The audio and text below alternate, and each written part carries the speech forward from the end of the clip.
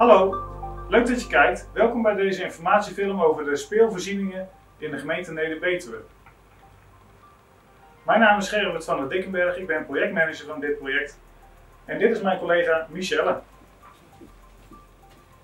Hallo allemaal, ik ben Michelle Megens en ik ga jullie toelichting geven over de ontwerpen die we, die we als schetsontwerp hebben bedacht. En vanuit de gemeente zijn betrokken bij dit project Mark van Meteren als projectleider, Ronald van der Velde als beheerder Spelen en Groen en Nanneke van der Heijden voor de participatie en communicatie. De aanleiding dat we dit filmpje voor u gemaakt hebben is het feit dat de gemeente Neder-Betuwe een aanbesteding heeft uitgeschreven om het vastgestelde speelruimtebeleid uit te voeren. Donkergroep won de aanbesteding en nu zijn we samen met de gemeente in bouwteamvorm het ontwerp en de aanleg van de speelterreinen aan het vormgeven. Dit doen we gedurende een periode van vier jaar. Dit jaar hebben we de eerste ontwerpen gemaakt in 2020 en zo zullen we de komende jaren steeds deze cyclus herhalen tot 2023. Daarbij pakken we per dorpskern een aantal speelterreinen op. Helaas, door de corona kunnen we u niet live ontmoeten op de speelplekken of ergens in een dorpshuis. En zullen we veelal de informatie aan u online presenteren. Wat we doen is het planmatig vervangen van toestellen, herstellen van valondergronden of toestellen en soms ook het opheffen van een aantal plekken. We proberen binnen het vastgestelde budget zoveel mogelijk speelwaarde voor kinderen terug te ontwerpen. En dat doen we vanuit onze visie, die we als donkergroep hebben, op een zo duurzaam mogelijke manier, waarbij we duurzaamheid, circulariteit en dus bepaalde onderdelen van toestellen opnieuw gebruiken, opnieuw toepassen. Kijken we naar beplantingen op speelterreinen, zodat biodiversiteit, maar ook hittestress door het toepassen van bomen een plek krijgt in de speelterreinen. Speelterreinen zijn bij uitstek een hele mooie plek om deze thema's die onderin staan een plek te geven. Het budget leggen we altijd op een weegschaal. Dat betekent dat we wensen en eisen hebben en de weegschaal moet in balans zijn. Het moet passen op het budget. Het is heel erg van belang om te kijken en ook naar de ontwerpen die Michelle zo meteen zal presenteren, dat deze weegschaal in ons achterhoofd blijft zitten. Een wens voor de ene plek kan betekenen dat de weegschaal verkeerd doorslaat en dat betekent dat op een andere plek misschien iets minder moet, maar dat de weegschaal wel weer in balans komt. Michelle gaat zo meteen de ontwerpen per kern aan u toelichten en daarvoor hebben we een systematiek bedacht, zodat ze hopelijk makkelijk te lezen zijn. Een aantal toestellen zijn afgeschreven. Deze zijn te herkennen aan een rode button met een kruis erdoor en die gaan dus ook weg van de speelplek. Andere toestellen gaan ook weg van de speelplek, maar zijn nog wel goed om hergebruikt te worden binnen een andere locatie op de, in de gemeente. Deze worden dus met een groene button op de nieuwe plek weer aangeduid. Dan zijn er ook nog compleet nieuwe toestellen of elementen. Deze worden met een blauwe button aangeduid en de groene button betekent dat alles nog prima in orde is en het toestel gewoon blijft staan op de plek waar hij staat.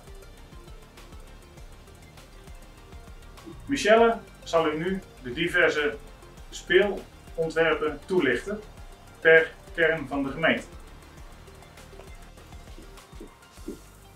Hallo allemaal, ik ga nu aan jullie de schetsontwerpen presenteren die we voor alle speelplekken hebben bedacht. Dit doe ik aan de hand van alle ontwerpen per plekje. Maar ik begin eerst even algemeen bij, het, bij de totale gemeente Neder-Betuwe. Dan zoom ik even in op alle plekken om te laten zien aan jullie om welke plekken het gaat. Nou, dit doe ik aan de hand van het grote scherm, de kaart die je dadelijk te zien krijgt. Met daarbij ook de speelplekjes, de ontwerpen. Dus ik ben dadelijk heel klein in beeld en daarbij geef ik toelichting. Nou, de volgende dorpskernen uh, doen mee aan het speelplan. Uh, allereerst, we hebben eigenlijk in Echteld te maken met vier speelplekjes. we hebben IJzendorren, het zijn ook vier plekjes. deze plekjes doen overigens nog niet mee in aankomend jaar, dus die volgen later. verder hebben we ochten. Nou, dit zijn een heleboel speelplekjes. dan hebben we kast, kesteren. Nou, kester is, is vrij groot en er liggen ook heel veel speelplekjes uh, verspreid. Daarnaast hebben we natuurlijk ook nog uh, de wijk, Kastgroven. Nou, daar zijn een aantal nieuwe plekken bijgekomen. Nou, deze plekken hebben we ook al een idee voor, een voorstel. En die zou ik graag ook met jullie willen delen. En ik ben ook heel erg benieuwd wat jullie daarvan vinden. Nou, verder hebben we op Heusden, er zijn verschillende aantal plekken. Ook al een plek die later nog wordt uitgevoerd, waar echt een groot plan voor is. Uh, Dodewaard hebben we ook nog en Wely. Opheusden. Nou, de volgende speelplekken doen mee um, in het speelplan voor aankomend jaar. Maar ook natuurlijk de overige speelplekken voor de komende jaren. Nou, welke speelplekken we nu in deze video naar gaan kijken is de Van Zandstraat, de Klimatenstraat, uh, de Van Manenstraat, uh, de Van Zandstraat nummer 20, en de Riebestraat 18. Nou, dat kun je ook zien aan ehm, de nummers. Die refereren dan weer met een rood icoontje. En dat wil dus eigenlijk zeggen ehm, dat, die, dat deze plekken nu dit jaar aan de beurt zijn en deze volgen later. In welke volgorde is nog niet bekend. Nou, verder hebben we ook nog um, Acaciastraat en Gouden Regenstraat en Verzandstraat 30.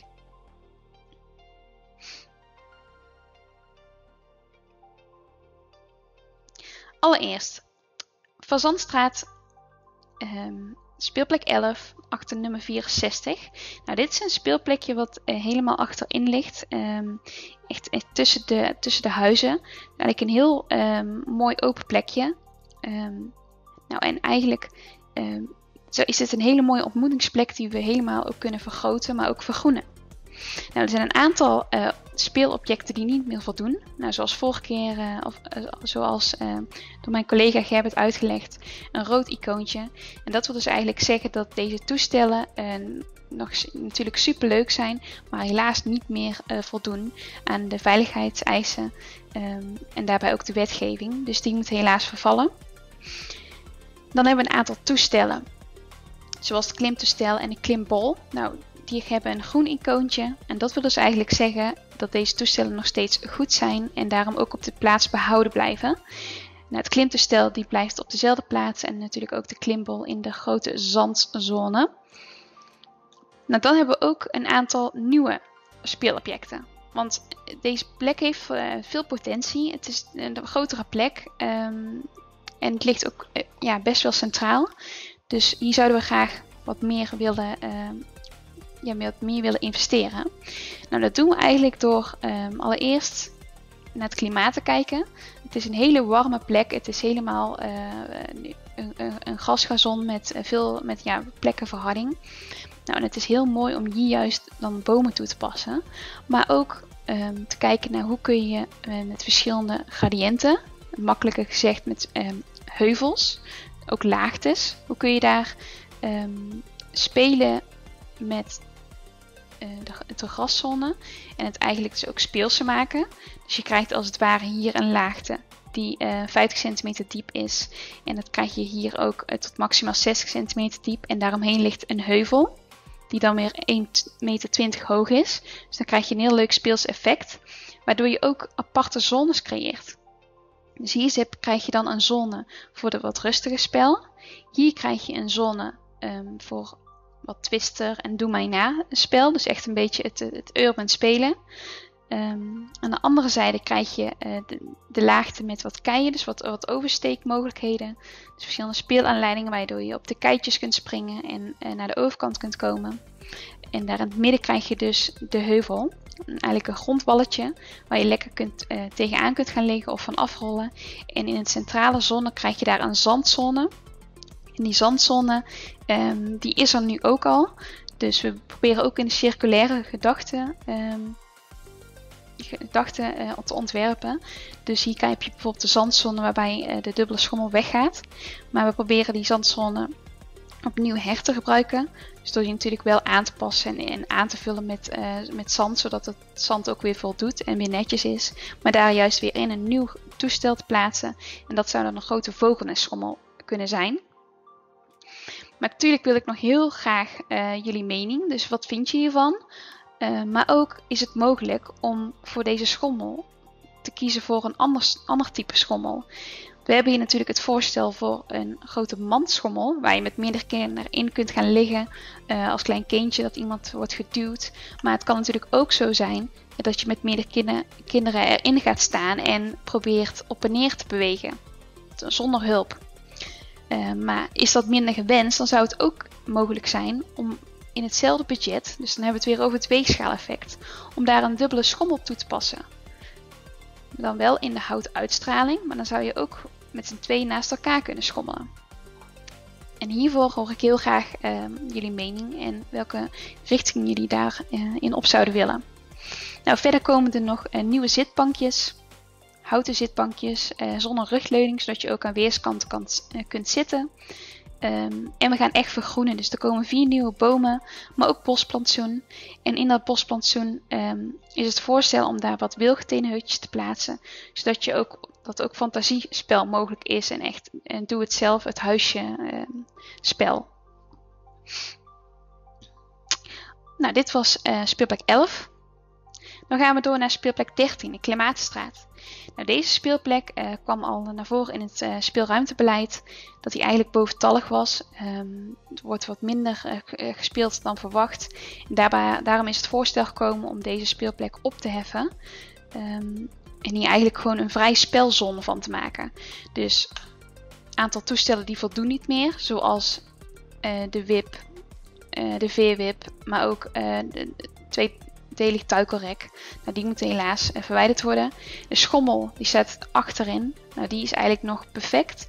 Um, maar ja, er wordt weinig van gespeeld. Dus hoe leuk zou het zijn om deze, dit toestel juist weer op een andere locatie binnen de gemeente her te gebruiken. Nou, en daar, um, deze uh, schommel hebben we nu het idee voor om deze toe te passen in een speelplek in Ochten. Dus als je de film van Ochten bekijkt, dan kun je op een nieuwe locatie voor deze schommel zien. Nou, om deze um, gaszone nog wel wat meer uh, schade te creëren, is het voorstel om hier wel een boom te plaatsen. Nou, onder, onder de boom kun je lekker zitten um, en struinen. En dat is natuurlijk vrij spel mogelijk. Dus um, wil, je, wil je wel gespeeld worden, dan kun je altijd met, met een bal of met een, een touw hier uh, natuurlijk gewoon vrij spelen. Oké, dit was speelplek 13. Dan gaan we door naar de speelplek 14, de Verzandstraat 20.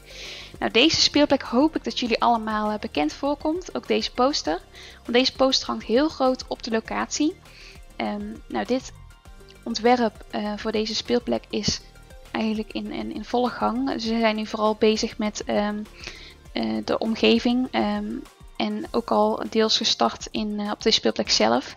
Maar dit is het idee voor deze speelplek. En ik hoop dat deze heel erg naar wens is bij jullie. Oké, dit was speelplek 14. Dan gaan we door naar speelplek 16, de Riebestraat 18. Nou, dit is de speelplek naast de school. Nou, de ideeën die ervoor bekend zijn is dat um, deze speelplek omgevormd wordt naar een natuurlijke uh, groenzone. Waarbij we een, uh, een, wadi, een wadi wordt gecreëerd. Nou, en die wadi die wordt helemaal vergroend met uh, kruidenrijke beplanting. Um, maar ook vlonders en verschillende soorten verharding. Een beetje een blote, voet, blote voetenpad effect. Maar ook um, komen er verschillende speelaanleidingen. Nou, die speelaanleiding kun je uh, denken aan uh, stammetjes, keitjes. Um, dus dat is echt weer een, een project wat uh, net zoals de vorige speelplek behoort tot de vogelbuurt. Dus als je hier meer over weet, dan kan het uiteraard um, op de projectensite. Nou, wij focussen ons nu in het speelplan vooral op um, de zone binnen de rode stippellijn.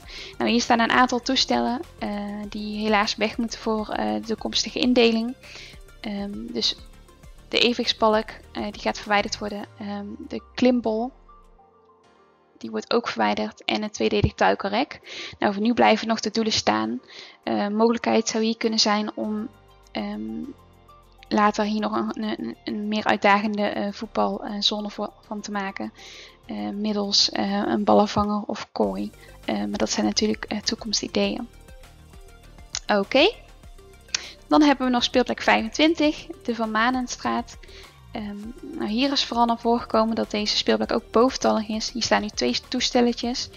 En um, deze zone is eigenlijk gewoon is eigenlijk te groot voor enkele toestellen. Vandaar uh, dat deze speelplek wordt opgegeven. Ook omdat er in de omgeving eigenlijk genoeg uh, speelplekken aanwezig zijn. Dus deze plek wordt omgevormd naar een gaszone en uh, de WIP en het eh, speelhuis met glijbaan wordt verwijderd. Dankjewel Michelle voor de toelichtingen op de ontwerpen. Wij zijn erg benieuwd naar jullie reactie. Deze reactie kunnen jullie achterlaten op de projectenwebsite van de gemeente Neder-Betuwe. Daarin vind je een link naar dit project en kun je het reactieformulier invullen. Wil je ons ook persoonlijk spreken om je reactie te geven, meld je dan aan voor de online bewonersavond op 12 of 13 januari. We zien jullie graag